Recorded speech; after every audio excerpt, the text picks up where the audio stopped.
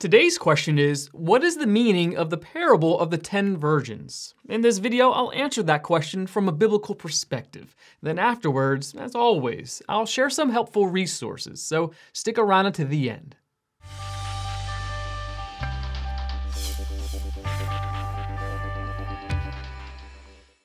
As we take a good look at the parable of the ten virgins in Matthew chapter 25, verses 1 through 13, we must acknowledge up front that there has been much debate as to the meaning of these words of our Savior. At least one aspect of this parable can be known with absolute certainty. The bridegroom is Jesus Christ, and this parable describes his return.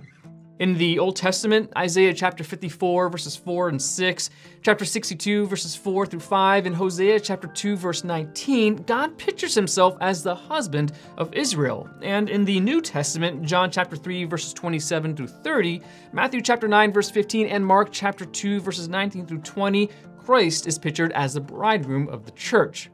The church is described in scripture as the bride of Christ, Ephesians chapter 5, verses 25 through 32. The historical setting can also be known with a fair amount of certainty. In describing a first century Jewish wedding, D.A. Carson in the Expositor's Bible Commentary describes the setting this way. Normally, the bridegroom, with some close friends, left his home to go to the bride's home, where there were various ceremonies, followed by a procession through the streets, after nightfall, to his home.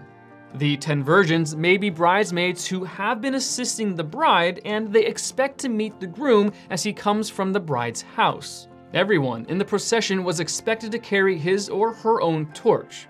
Those without a torch would be assumed to be party crashers or even brigands.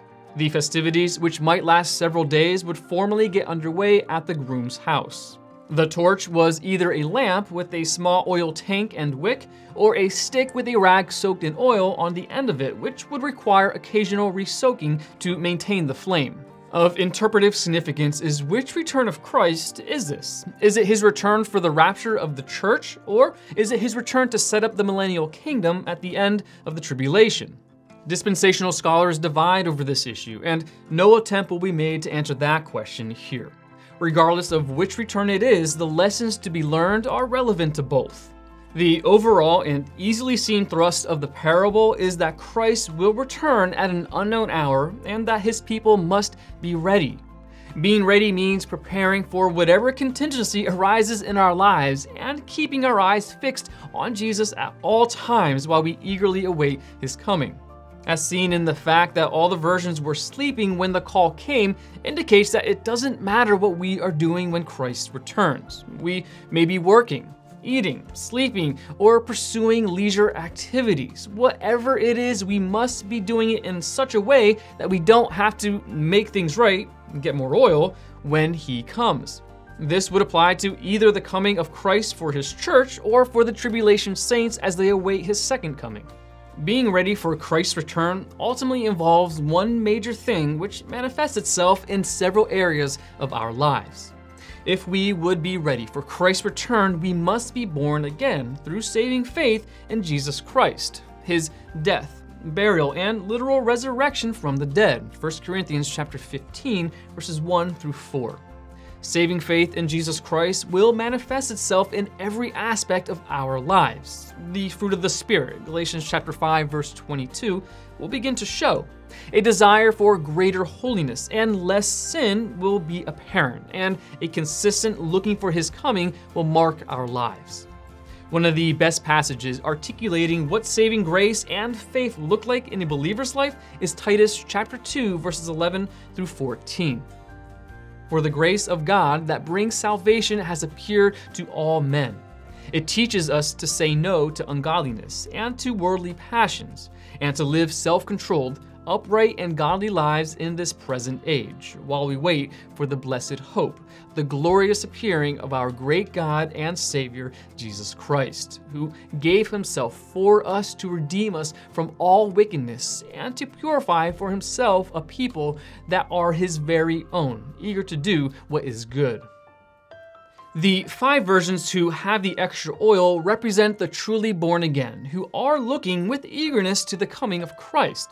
They have saving faith and have determined that whatever occurs, be it lengthy time or adverse circumstances, when Jesus returns, they will be looking with eagerness. The five virgins without the oil represent false believers who enjoy the benefits of the Christian community without true love for Christ. They are more concerned about the party than about longing to see the bridegroom. Their hope is that their association with true believers, give us some of your oil of verse 8, will bring them into the kingdom at the end. This, of course, is never the case. One person's faith in Jesus cannot save another. The Lord, Lord, and I do not know you of verses 11 and 12 fit very well with Jesus' condemnation of false believers of Matthew chapter 7, verses 21 through 23. Not everyone who says to me, Lord, Lord, will enter the kingdom of heaven, but he who does the will of my Father who is in heaven will enter. Many will say to me on that day, Lord, Lord, did we not prophesy in your name, and in your name cast out demons, and in your name perform many miracles? And then I will declare to them, I never knew you. Depart from me, you who practice lawlessness. May we not be found going away to make the purchase when Christ returns. Take the time now to fill up your lamp with oil and take extra along. Keep waiting and watching with joy and anticipation. Want to learn more? Subscribe so you don't miss the next video. Visit gotquestions.org for more great content and check out the detail section below this video. There's one book I recommend along several related questions. If you'd like to learn about Bible Munch or if you're interested in bite-sized devotionals, subscribe to Bible Munch on YouTube. It's linked right here. Now remember, got questions? The Bible has answers and we'll help you find them.